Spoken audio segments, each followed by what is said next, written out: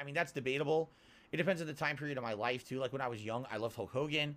Uh, when I got a little older, I liked more like Roddy Piper, Macho Man, and then when we got into the new generation era, now you're talking like Shawn Michaels, Razor Ramon, and then when you get even older than that, now you're talking Austin, and then after that, you're talking maybe like Chris Jericho, and then after you're talking later than that, now you're talking CM Punk. But you know, it's just it, it's by era. So, okay, um, hold on. Snow Carl to the dollar. Your hair looks good. Have you considered switching up your haircut or facial hair? I get bored if I had the same style for so many years. I think you look great without slicking your hair back. Um, here's the thing.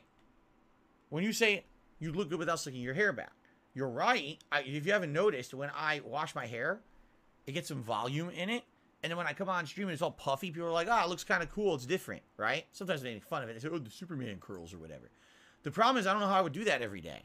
like, you need to wash your hair I would have to wash my hair before every stream to get it to look like that because my hair is Italian.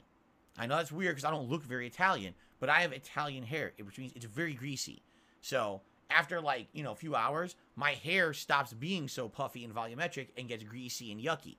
Um so I don't even know how I would get it to be puffy before a stream besides wash my hair every stream, which I really don't want to do, you know. But I, you know, if you haven't noticed on late streams, after I shower, I leave my hair puffy. I don't wet it, wet it down. Um, and that's why it looks different a little bit. Outside of that, I don't even know how else I would do my hair.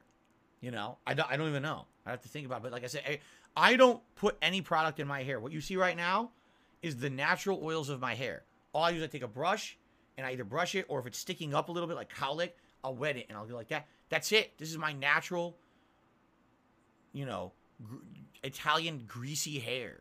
That's what I have. Yeah, because it's funny because some people are like, dude, what do you use to keep your hair down? Like literally nothing.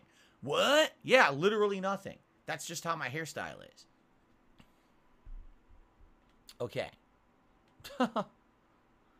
Snow Crawl did another tit. Well, let's see here.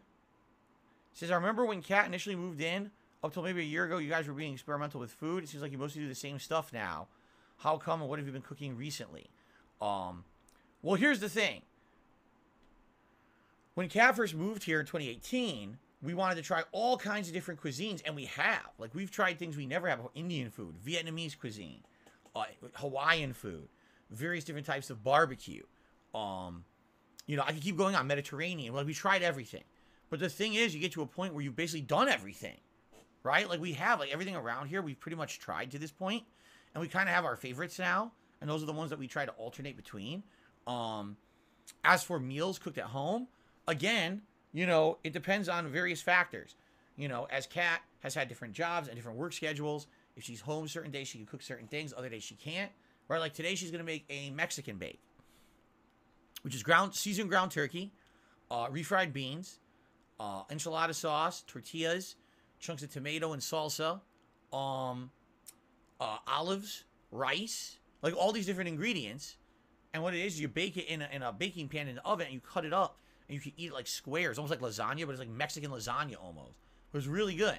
And the reason is, is it's easy to make. It's complex, so it has a lot of good flavors, but it's very easy to make. So because of that, it's a good, it's a popular thing we like to do every once in a while. Usually, you know, a couple times a month sometimes.